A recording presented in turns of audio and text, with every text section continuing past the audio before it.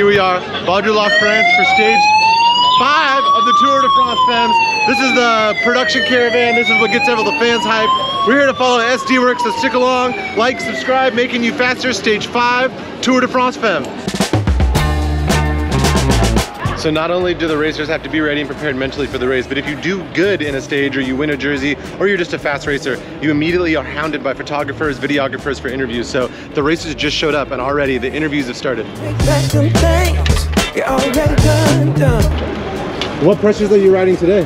Today uh, most of them are 390 in the front and uh, 410 in the back.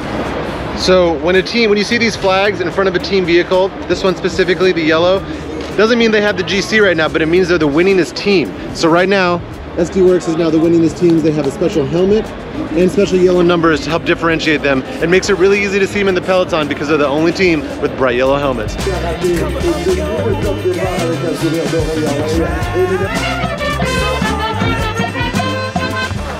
All right, we're in the team car with SD Worx. We've got one of the Soigneurs, Andy, and we're just leaving the paddock. Again, one of the hardest things about this is getting out of the town where the race starts in time to get to the first feed zone. Here we are at the feed zone. This is something that everyone has seen on the Alpe d'Huez, on every major climb in the tour. Fans painting the road. And out here, same thing is going on. We've got fans painting the road for the Tour de France Femme. All right, I'm out here with the InternationElles. This is an amazing InternationElles. InternationElles. Ooh. Here out here with the InternationElles. This is an amazing group of women. They rode the entire Tour de France in 2019 before the men to help advocate for this. And now we're out here in the Tour de France Femmes. This is like must be a dream come true, right? It's awesome. Yeah. It's awesome. Very This It's is amazing. legit. It's And they're legit. painting the roads just like in the men's tour. They're out here painting the roads to stoke the riders out.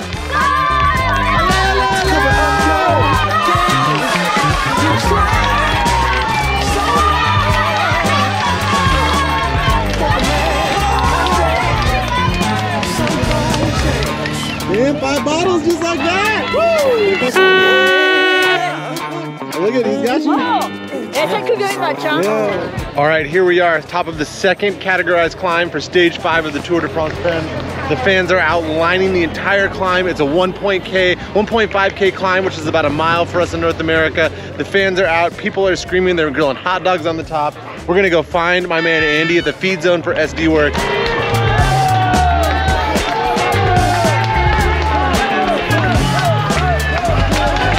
We just made it to the finishing time thanks to my man Andy for driving me. Some of the fastest hands in the business right here handing out bottles. He's an excellent driver too. Top notch. All right, here we are. End of stage five, Tour de France Femmes.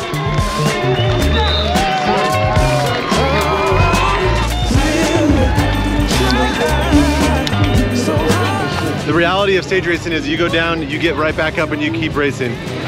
Here we are with Chantal van den Broek-Blaak's SD Worx race bike. We're gonna get a rundown of exactly the bike that she's gonna be racing today. Specialized SL7 Tarmac. This is a top of the line carbon race bike. You can see it has an integrated stem, it has an aero seat post. All these little things are huge gain. 353 NSW. This is one of the top of the line Zipp race wheels. This is a medium depth because this is a flatter stage with some climbing. We had the we saw the teams running the 454 NSW on the Champs-Elysees where it was more of a closed crit, but since it's a long road stage, 353 NSW, you know it's tubeless, you know it's hookless. They're running 700 by 28 specialized S-Works turbo tires. The temperature varies for each rider, but we're looking at about 39 to 41 PSI. Drivetrain now, this is the special part about Chantal's bike.